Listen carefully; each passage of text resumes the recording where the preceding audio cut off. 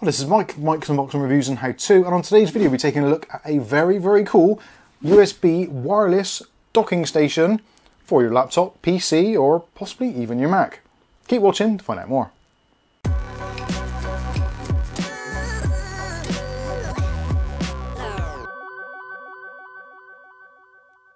Okay, so in today's video we're taking a look at the Cottny USB Type-C, also wireless charging USB hub. I'm not entirely sure how you'd pronounce this or even why they would put so many features into a device, but certainly is very handy. Now this was actually sent to us by Ugly Bob, Flat Earth Santa himself, so thank you very much Bob for that. He actually bought one for himself for using with his laptop and his docking station at work, so he thought it'd be a nice idea to send one over to us, and actually this is a very cool device. It is a kind of a master of all things. So if like me and many others, you've got various devices and you want to plug them in and do various things, or maybe just like you've got a plain laptop on your desk, but there's other things you want to have plugged into it, such as maybe um, you want to be able to charge your phone, you want to be able to swap files, you want to be able to use your compact flash cards, CF cards, all that kind of stuff, or maybe you want to use some power delivery, many, many other things, Ethernet, VGA, you name it, there's an absolute ton of things on here. But we're going to go through today have a look at the unboxing process, see what this is all about, uh, see what it could do to help out your busy lives and also connectivity issues, and uh, see if it's right for you. So we're going to look at the box first of all. So this is the packaging. So as you can see, it's a 13-in-1 USB-C hub, plug and play, and it is very much a plug and play experience. There's no drivers or nothing included, and none are actually needed. On the bottom of the box, it goes through some of the things which actually supports, of which there are many. So you've got wireless charging, two USB 3.0s, one USB 2.0, one HDMI, one VGA, one RJ45, one times 3.5mm audio, a USB Type-C PD power delivery up to 100 watts, one trans flash slot, one SD slot, one times USB-C 3.0 data transfer, and also a USB-C 2.0 data transfer. Wow, that's a lot of stuff. And actually on the back of the box, it explains it much better than I ever could. So you can see there exactly all the things you can plug in. And you can pretty much plug all those in at the same time should you want to.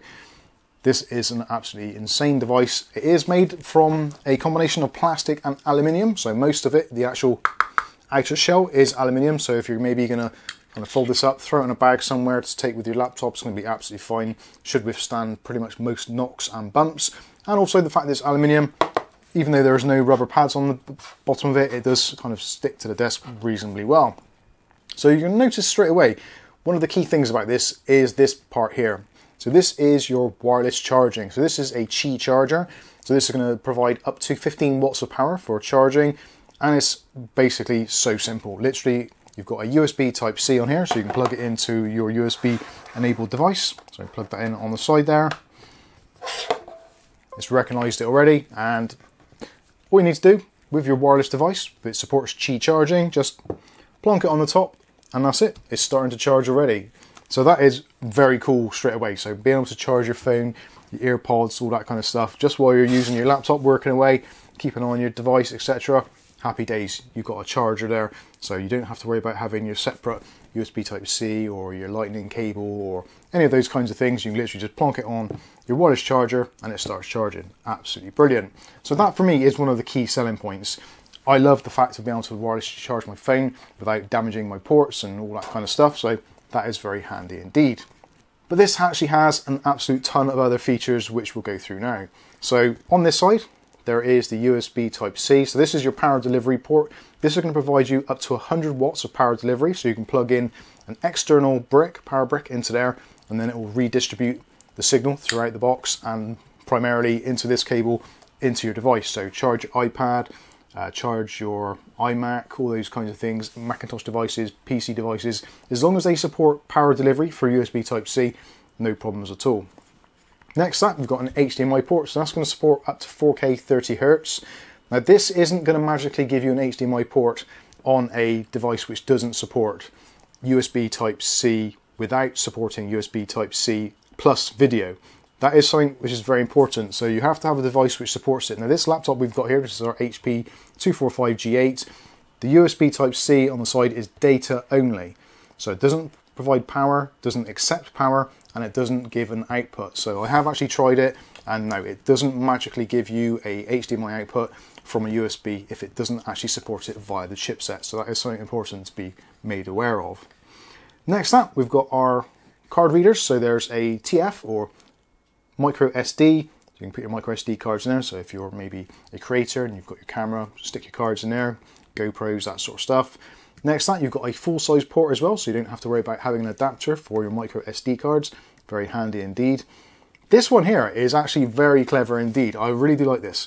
This is a 3.5mm jack, which supports both the TRS and the TRRS standards. So TRS is your normal headsets, or your headphones rather, which is just a normal left and right channel, or for a standard microphone, you can plug those in straight away. So when you look at the actual prongs on your jack, you should have kind of three separate sections. If you've got one which has got four, which means you've got combination, headset, audio, mic, all that all into one, not a problem. It automatically senses it and converts it into a USB signal that your computer can recognize. And I have tried this today, both with a regular kind of old fashioned set of iPhone headphones, plugged those in straight away, worked fine, microphone fine, headset fine. So if you're going to use this in combination with some Zoom calls, that sort of thing, certainly you can do that. Or if you want to use something a little bit more upmarket, like Sennheiser headphones, so if you're working away and listening to your music, isn't a problem. Just plug it in into the little jack there. It will know what sort of device it is, whether it's TRS or TRRS. And if you go into your audio settings, you'll find there is a new USB mic and also a new USB headset, which you can choose from as your output device. And you don't worry, you can split them as well. So if you want to maybe listen to the speakers from your laptop or your device, but you want to use the microphone from your headphones or headset, then you can certainly do that just by configuring it in Windows, which gives you an absolute ton of flexibility. Moving on to the back of the device or the end of the device, however you want to kind of put it. There isn't really a front, back, or anything, is there? I suppose there is a top. I digress. So this section here, you've got a VGA port. So this is going to support VGA signals 1080p up to 60 hertz. Obviously, again, like I said, it isn't going to magically give you a display output if your chipset doesn't support it. So that is going to be something you're going to need to be wary of. Do bear that in mind. It isn't going to magically give your system outputs that it doesn't already have anyway. This one here is gigabit ethernet, so that is 1000 megabits. It also does 10100, so do you want to use a 10100? This again, actually very cool. A lot of laptops these days, especially some of the thinner form factor ones, that's very hard for me to say, don't always come with a full-size jack, so you have to use some kind of dongle or something, so you might as well just use this and then you can leave it all plugged in. Plug in a USB Type-C, when you're done, unplug it, take your laptop to work or whatever. When you get home, plug it all back in and you've got all your peripherals there. Absolutely brilliant. Now on to the other side. So this side we've got a USB Type-C, so this is the fast port, so that's a Type 3, then you've got a Type 2, and then you've got your regular USB ports. And actually they put them in there, they're relatively well spaced. I've got a particularly chunky DataTraveler drive here. So if I plug that into one port there, and I can plug the other one into the one furthest away, and then I've still got room in the middle for my little SanDisk Flair, which can just about fit in the middle. They are a little bit on the tight side, the actual gappings there. Realistically, are you going to use kind of three at once? Possibly not. I don't know, maybe you've got maybe a wireless dongle for a keyboard and mouse that you're going to use with your laptop, possibly. Again, you can space those out, so even if you had two in there, still leaves you with another two USB Type Cs as well, which you can always get adapters for to convert USB Type C to USB Type A. So I think this is going to offer a lot of flexibility. Some things which I don't like about it, which uh, to be completely honest with you, there isn't many. There's two key things which I think would make this uh, a lot better in my opinion. One of which would be an extension USB Type-C cable, just so that if you are using this maybe on a desktop PC, you've got a little bit of a longer cable so you can actually reach to USB Type-Cs. I'm guessing realistically most people are going to kind of use it with a laptop and with your charging dock there. I would actually quite like to be able to use this on my desktop PC as well. So have this actually on my desk next to my keyboard and then I can put my phone on there but then run a cable down to the bottom of my computer. So Another meter cable would do it fine. If they included that in the box, I think that would be an excellent addition. And the only other thing, which is a very minor thing, I would have liked to have seen maybe a rubberized pad on the bottom just to stop it skidding around a little bit. It doesn't move a great deal. The aluminium is a nice finish to it, like a satin finish, so isn't overly shiny and even on IKEA desk, it doesn't move around a great deal, but I think actually having something on there just to keep it still might have been a nice inclusion. Something which is actually a really good thing is the price on this. Now, surprisingly, considering all the ports you get on here and the fact you've got up to 100 watt power delivery, which not many of these will actually do, This comes in at the moment, it's somewhere in the region of about £35 currently on amazon.co.uk. So yeah, I think for what you actually get, it's very unusual to see the Qi charger built in. And that is something which I particularly like. The audio part of it is excellent. The fact that it also senses is absolutely fantastic. And it just can give maybe a slightly older laptop a little bit more of a lease of life with all the extra components, the flexibility of various outputs, your Ethernet, loads of ports. Yeah, it's a very cool device, pretty weighty, feels pretty strong, and it can charge your devices whilst you're actually charging your main device. Absolutely brilliant. So anyway, let me know what you think about this one in the comments section below. Massive shout out and thanks to Ugly Bob again, as per usual. This is actually a very awesome piece of kit, which no doubt, I think Kath's going to be the one who's going to get most use of this on her desk, charging her phone and plugging in her headphones when I'm editing. That sounds good to me.